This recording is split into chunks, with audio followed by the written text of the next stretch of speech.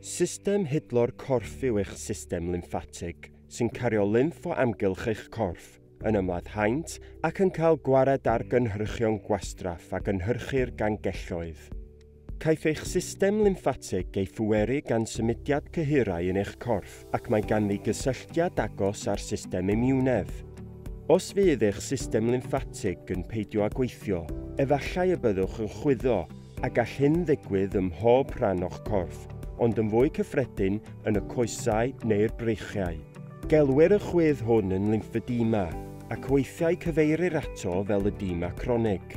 Amcangyfrifir bod gan chwech fesl mil o bobl lymphedema yn y Deyrnas Unedig. Awgryma hyn bod dros 400,000 o ddynion, menywod a phlant yn byw gyda lymphedema yma.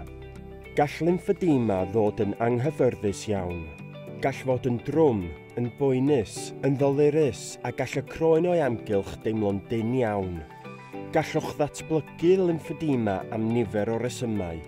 Gallwch gael eich geni ag ef, neu gall fod yn sgil effaith canser neu driniaeth canser.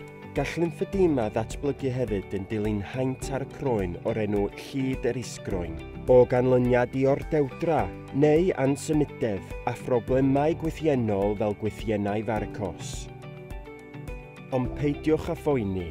Gellir trin yma, fel arfer gyda chefnogaeth therapydd lymphedema arbenigol neu nyrs. Gorau po gyntaf yn nodi'r lymphedema neu edema cronig y cynharaf y gellir ei drin a gellir lleihau'r risg o gymledodedau sy'n gysylltiedig ag ef. Gall y risgiau hyn gynnwys anhawster dod o hyd i ddillad neu esgidiau ffitio, llid yr isgroen, datblygu clwyfau a risg o gwympo.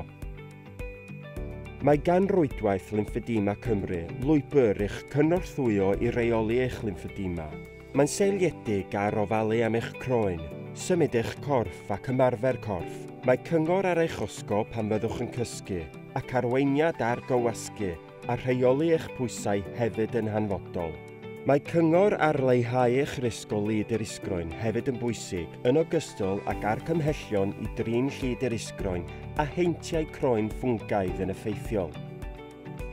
Bwriad rhwydwaith Lymphedema Cymru yw eich cefnogi a'ch helpu i gyflawni eich nodau personol wrth reoli eich lymphedema neu edema cronig. Rydym am ddeall beth sy'n bwysig i chi a pha fathau o bethau y gallwn eich helpu gyda hwy i gefnogi eich hunan reolaeth.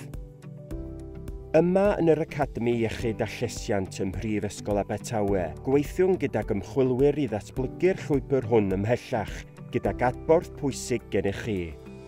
Gallwch ddod o hyd i ragor o wybodaeth am y llwybr pan ymwelwch â charbenigwr lymphedema yma yn yr Academi.